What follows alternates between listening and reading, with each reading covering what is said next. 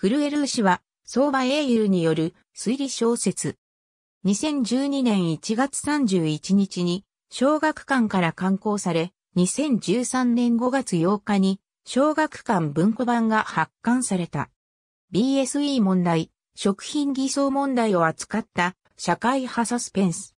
警視庁、捜査一課継続捜査班の刑事が事件発生から2年経っても未解決の中野駅前居酒屋強盗殺人事件の捜査を命じられる。食品偽装問題を追う女性記者や食品偽装を隠蔽しようとする企業と警察組織の攻防などを描く。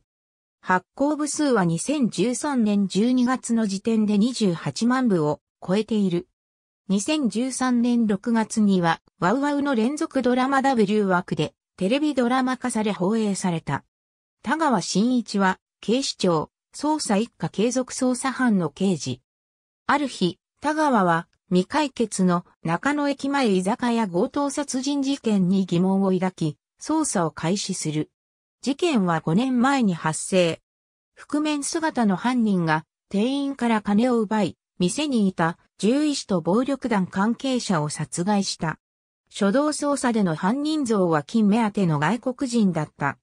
被害者同士の面識はなく、それぞれ一人で待ち合わせ相手を待っているところだった。地道な聞き込みを重ねた田川は、食肉加工会社ミートボックスにたどり着く。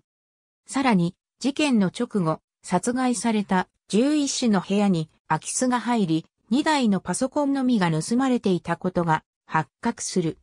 田川は犯人の真の目的は金ではなく二人を殺害することだったのではないかと疑念を抱く。そんな最中に田川はニュースサイトビズトゥデイの記者の鶴田真澄と再会する。鶴田も読者から得た情報をもとに悪評のあるミートボックスの食品偽装疑惑を探っているところだった。ミートボックスは、八田富幸が社長を務める精肉卸会社であり、加工肉をスーパーや居酒屋などに卸していた。どこよりも安い加工肉を販売することで業績を伸ばしていたが、それは驚愕の食品偽装によって実現されていたものであった。牛100%を歌っておきながら、実態は豚鳥うさぎ馬食用ネズミ果ては何の肉かもわからないものまで混ぜており、それも腐った冷凍肉を安く仕入れて腐った部分を削り取りって入れていたもので、匂いを取るために化学薬品で洗浄したものをひき肉にしていたのである。捜査を進める上で、田川は、オックスマートが BSE の隠蔽に関わっていたことを突き止めるに至ったものの、確たる証拠がつかめずにいた。そこに何者かからの力が働き、捜査自体が頓挫してしまう。2013年6月16日から7月14日に、ワウワウ連続ドラマ W 枠で放送された。主演は三上博史。2011年に三上が主演したドラマ下町ロケットでタッグを組んだ鈴木康介監督が再びメガホンを取り、プロデュースの青木康則、音楽の羽岡圭という下町ロケットのスタッフが再集結した。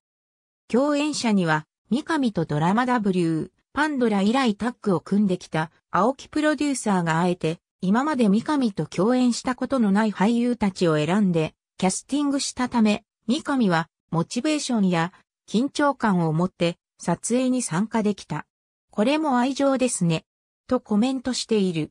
ドラマは TC エンターテインメントにより DVD 化された。2014年1月8日にリリースされ、同日にツタヤ限定でレンタルがスタートした。ありがとうございます。